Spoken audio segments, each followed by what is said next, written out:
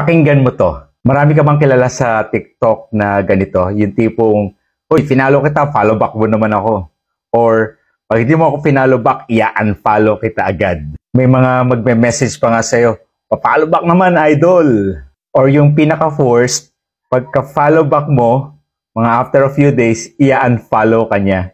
There are several factors to consider when deciding to follow a social media influencer. So yan yung pag-uusapan natin ngayon. Makinig ka. Number one, yung relevance. Yung bang influencer na pinafollow mo or you intend to follow are creating content that are relevant to your, especially to your interest or to your industry.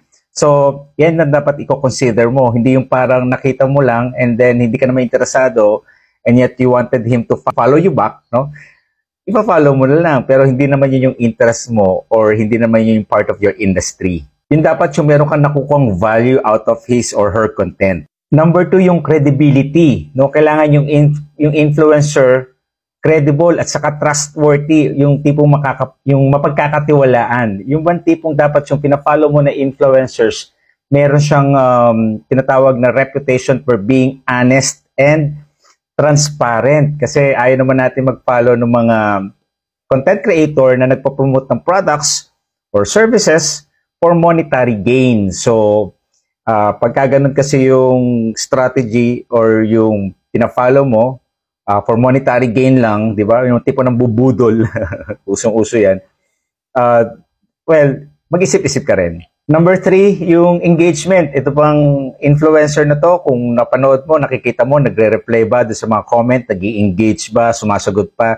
So, importante rin yan. Para at least pagka nag-comment uh, ka, no, somehow, meron kang may expect na sagot sa influencer na to.